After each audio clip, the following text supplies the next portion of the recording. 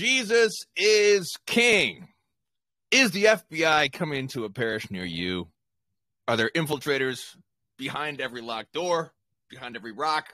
Is there an FBI agent going to pop up behind the parish welcome sign? Today on the Guild Family Stream.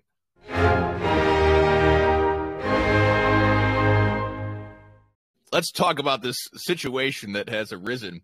Um, as like normal, the first part of this stream will be public. We'll release the first 10 minutes or so. If you want to have the whole conversation, you have to become a guild member. Go to patreon.com slash Catholic. We are switching over announcement. We're, we're switching over to uh, a more, a less woke system, God willing, very soon. It's just a lot of technical difficulties. But if you go to meaningofcatholic.com slash register, you can become a guild member that way. Um, and I was talking with Tim Gordon about the situation that he was dealing with with Patreon. So we are going to set up um, locals and or um, Subscribestar um, and or have our own system. Totally, we're just working on that. Um, shout out to our webmaster. Um, you know who you are. Thank you for all your good work. He is a volunteer. He's volunteering to our apostolate. Um, so we really appreciate his good work. So thank you very much. Um, so let's talk about the FBI. So if you haven't heard already, the FBI, there was a leaked memo from uh, FBI whistleblower Kyle Seraphin. He was fired from the FBI for doing whistleblower activity. I believe it was last year, where he was he uh, leaked that the FBI was um, what was the initial leak? I can't, I can't remember. I'm, I'm running on lack of sleep here, but there's been many, many different um, whistleblower complaints. Um, and this is, let's see, today, right now, it's the first day of congressional hearings into the FBI's corrupt behavior. So they've been having these tips, all these various whistleblowers going on, um, saying that the FBI is being weaponized to target conservatives.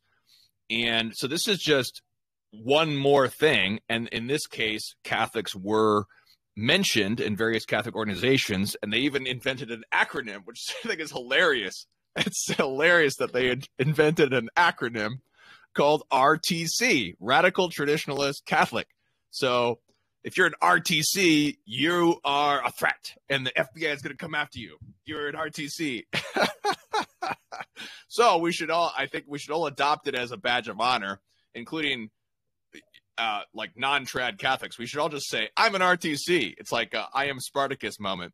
So that's just, ah, uh, man, that that just really, it just really cracked me up.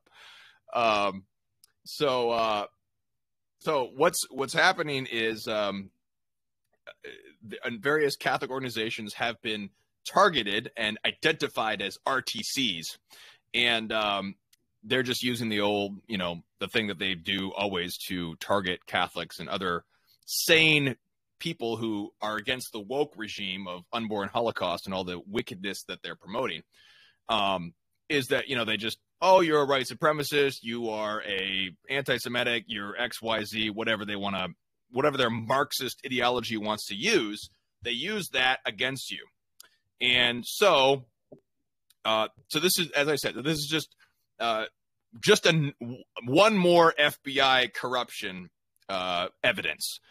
Um, what's really interesting about it is that immediately the FBI did damage control, and that that was surprising to me. I I didn't I didn't didn't know how quickly they would do it, um, but they immediately rescinded the document.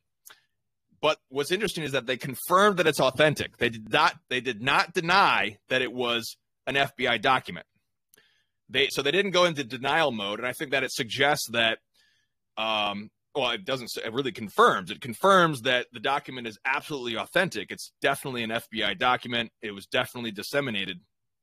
So they can't just deny it. They they they can't deny it because the evidence is there. There's too much of a paper trail. They can't deny it. So they confirmed that it was real. And then they said it doesn't meet the exacting standards of the FBI. And Eric Sammons, as he often does, um, said, well, it doesn't meet these exacting standards because it was leaked, obviously. Oops, oopsie, you know, FBI, oopsie, we, we let that out. So that, clearly it's not a good FBI document. Doesn't represent the true FBI, of course.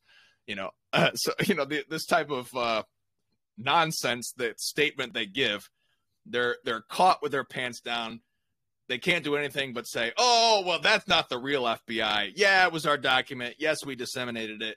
But that doesn't really represent the good FBI, which is fighting for justice and fighting for LGBTQRST rights and all this great stuff. So, um, this is uh, this is the situation we're in. Um, so let's talk a little bit about um, the the some of the organizations that uh, were featured in the RTC hit list, the FBI's most wanted. Um, I'm very sad that um, none of the organizations that I work with did not we did not make the list. We're not Catholic enough apparently, so we'll try to work on being more Catholic to try to make the list of RTCs. Um, we'll talk a little bit more about these things. Uh, we'll talk a little bit more about their tactics and uh, what you guys think. So at the this is the end of the public portion. So what we'll do is we'll we'll cut this off right now. If you want to have a conversation about it, talk more about all this craziness and about anything else you want, you have to become a guild member. As I said, meaningofcatholic.com slash register.